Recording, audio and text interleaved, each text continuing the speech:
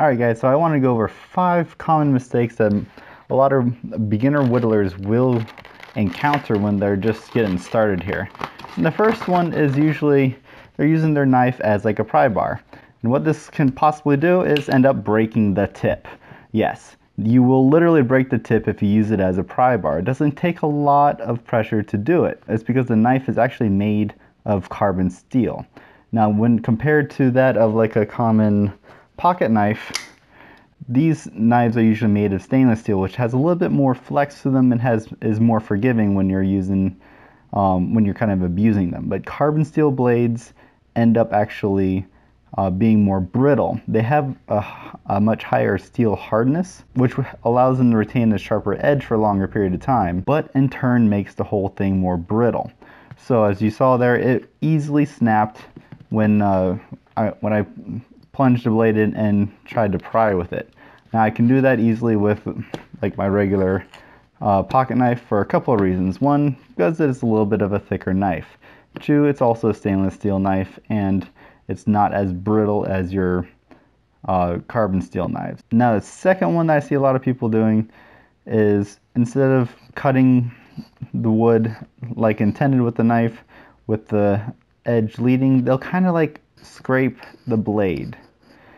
They'll do it like this, um, thinking that it's gonna smooth out the, the edge, but what you're actually doing is damaging that fine, fine cutting edge on the tip of it right there. Um, now, the reason why you don't want to do it is because these knives have a very fine, fine point to them, um, usually between the realm of uh, 12 to 20 degrees uh, cutting edge. Regular knives like my Flippity Doodah blade here will have a steeper cutting edge which will allow it to have a bit more um, edge retention for more robust tasks, but it is not as good of a slicer in wood as uh, these regular blades. So if you're going to be scraping along the side like this, you're going to actually end up damaging that edge right there.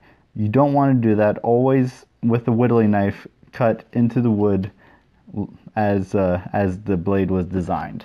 You don't ever want to start scraping it, you're just going to dull it out really, really fast. Now another mistake that a lot of beginners will make is not actually honing their blade while they're actively whittling with it. When you're whittling with the, your knife, you're going to be slowly dulling it out. So ideally, you want to go and hone your blade every 20 to 30 minutes while you're whittling. And you're going to do this with a leather strop with honing compound on it. The typical color that you're going to see is green. Um, that's with most uh, generic or basic leather strops with honing compound. If you're using Flexcut, you're going to see the Flexcut gold uh, stropping compound. Um, they'll do the same exact thing, but basically you're just adding an extra, I should, probably shouldn't do this one, the tip of is busted up there. Let's use this one. So you're going to be just uh, removing a very, very fine layer of metal and refining that edge, making it super sharp, uh, keeping it nice and sharp whenever you're, you're carving, and just makes the whole cutting process a lot easier. So it just allows you to cut through the wood much, much easier. Now another issue that a lot of beginners are going to do is cutting against the grain. Now the wood grain for this piece of wood is going horizontal um, like this. So that means that it's essentially layers of wood going down. Um, and you can, there's three different ways that most people will cut it. Uh, one is going into the, uh, or across the grain like I'm doing here and then going with the grain like I did there. So going um, down and through the different layers of the grain is an easy way to do it and then you can cut along with the grain which is an easy way to remove a lot of the wood. It's very easy, but the issue you're going to start running across here is if you start going against the grain, as in you're cutting up and you're pushing the green against the green going that way. What this might end up doing is actually cause you to split off a whole chunk of wood. Now you may not have actually wanted to do that. So this whole chunk of wood right here has been cut off. Um, now if you're trying to remove a large section of wood, that might be fine.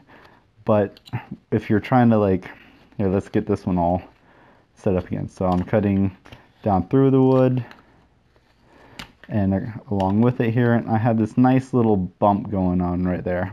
Uh, I, um, if I wanted to smooth it out, I would not cut up and against the wood grain because like you saw, it will split it.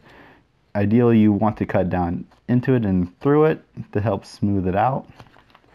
So you can see there, I kind of rounded it off a little bit, but if I were to come back up through it, I'll do it slower. There it goes. You can see that I basically popped off that that whole chunk of wood right there. You will notice it when you actually start um, going up against the wood grain and starts catching onto it because the knife will start, you'll start feeling more pressure needing to be applied to the blade and then all of a sudden it gives. Now that leads us to the fifth and final issue right there because like I said, when you're going to be applying a lot of extra pressure to the blade if you're cutting against the wood right there and then the knife will go flying. Notice where my finger's at right here. It's down at the bottom. I don't want to have my finger right here, even though I plan on the knife going up this direction. If I were uh, cutting against the wood grain and the wood grain and the wood popped, my knife might accidentally go right into my finger right there. That would have been bad. Um, which is also why I wear these gloves because just in case, I mean, for me, I get into my wood carvings and sometimes I do forget where my fingers are. But always keep in, keep in mind where the blade direction is going and get into the habit of keeping your fingers out of the way. Sometimes when you're doing a smaller carving, it's going to be harder to do. So even like if you're doing a, a paring cut, you want your thumb down here, not right where it's going to be coming and impacting your finger. Keep your thumb down and out of the way. That way, if you do accidentally overextend, you are missing your thumb altogether. It's just safer um, and it'll help build good uh, knife handling habits. Now if you found the video useful, go ahead and hit the like button. It's a great and easy way for me to see if you guys are finding the video was um, helpful to you in any way. And it helps me see what I, what I should make next. Thanks for watching everybody. Have a good day.